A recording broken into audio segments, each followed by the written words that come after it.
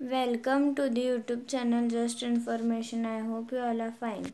Today we will learn physics chapter kinematics. So in this chapter we will learn many things. This is a new chapter. First chapter we finished chapter measurement.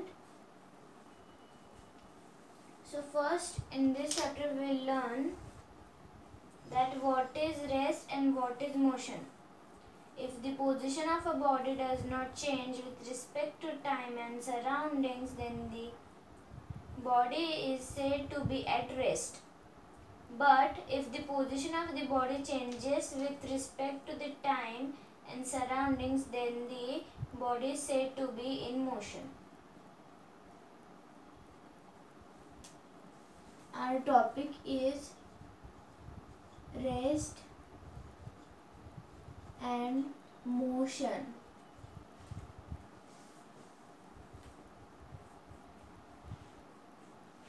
So day 1 was there where professor said that well today we will learn about rest and motion.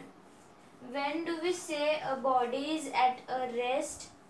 Simple, the body is not changing its position for instance mountains for instance mountains rocks etc then we do say that the body is then when we do say it is in motion. Well when the body is changing its position for instance a moving train flowing water a flying bird etc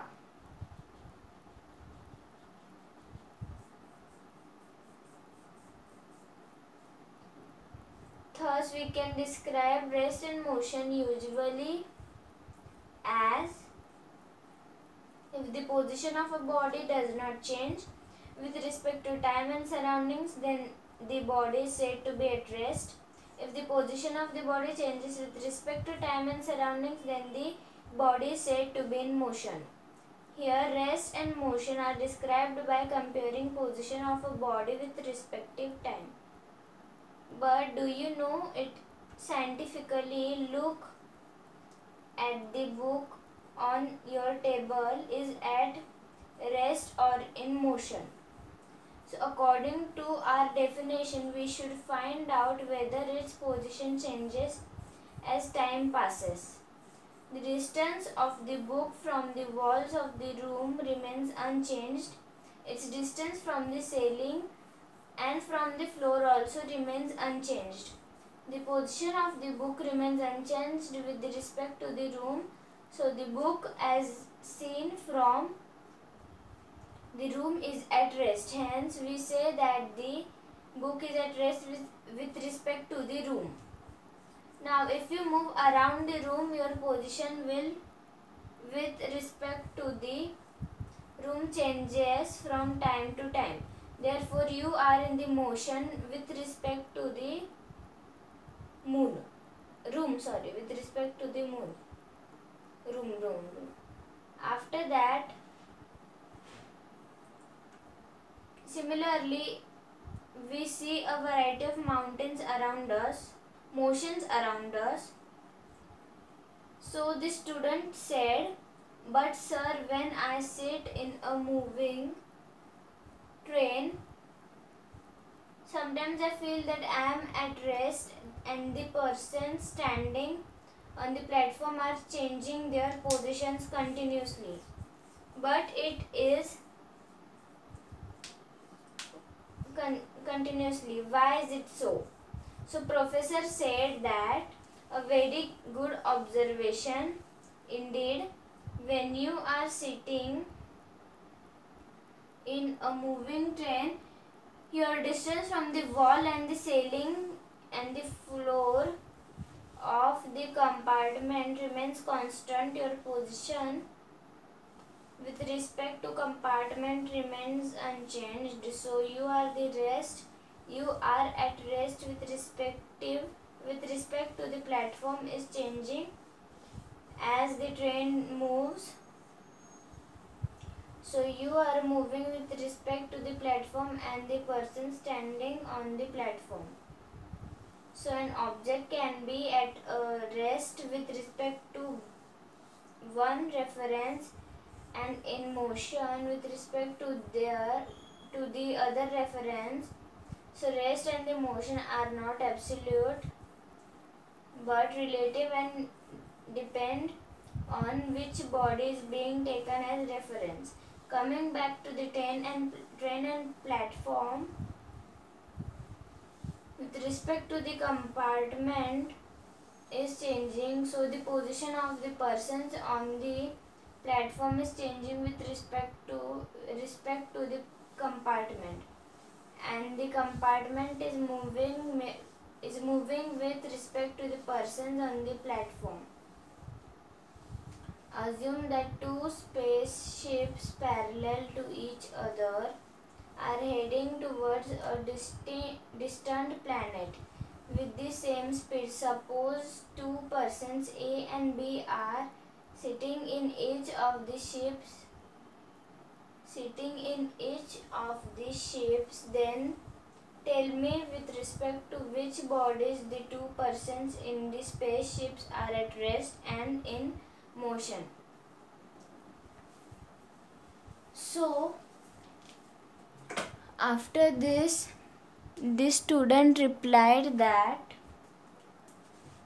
the distance of A sitting in the first spaceship from the person B in the other spaceship will not change as both the ships are moving with equal speed. So A is at rest with respect to B and B is at rest with respect to A. But both A and B are moving with respect to the planet with respect to the planet. So we can conclude that the respect that with respect to each other they are at rest and they are at rest and with respect to the planet they are in motion. Professor said that now all of us in this class are sitting at and are not moving around but are we at rest with respect to the sun? So the students replied, no sir, we are not at the rest with respect to the sun. Our position with respect to the sun is continuously changing due to the earth's rotation and revolution. So, professor asked that uh, likewise, if we observe from space, we find that all things present on the earth are in motion due to rotation and revolution. Thus, we can finally conclude that rest and motion are not absolute but related as they depend on the reference being considered.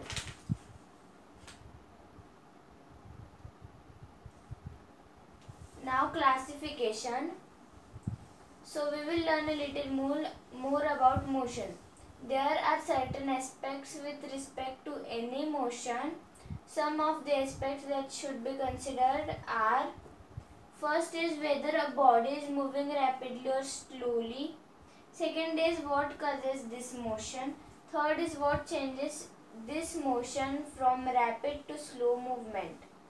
Fourth is what changes its direction and let us study the branch of physics that deals with the above questions. So mechanics is there.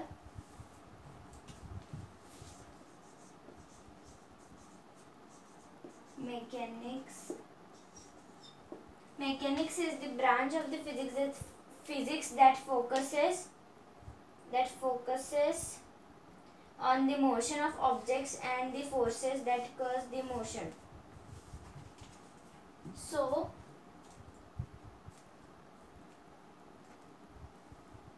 there are two there are two branches of mechanics kinematics and dynamics dynamics Kinematics deals with the concepts that are needed to describe motion without any reference to force or the cause of the motion. and dynamics deals with an effect of these forces on motion of a body. We will be dealing exclusively with kinematics in this book. There are two types of mechanics, two branches of mechanics that are kinematics